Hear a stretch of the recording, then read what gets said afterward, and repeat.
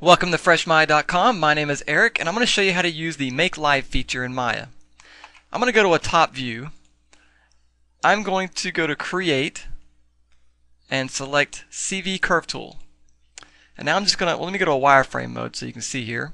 I'm just going to start clicking all over my plane that I created. Hit enter. I'm going to lift it up and you'll see that it's flat. Because basically we just drew the curve on a flat surface. Alright, I'm going to delete it. This time I'm going to select the uh, plane. I'm going to go to modify and I'm going to click on make live. That makes that plane that I created live. So now if I go to create CV curve tool and start clicking around on my on my uh, plane,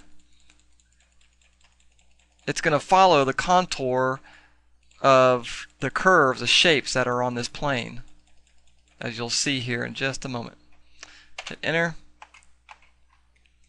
As you can see, the curves followed our surface. Lift that up so you can see better. So it's no longer flat.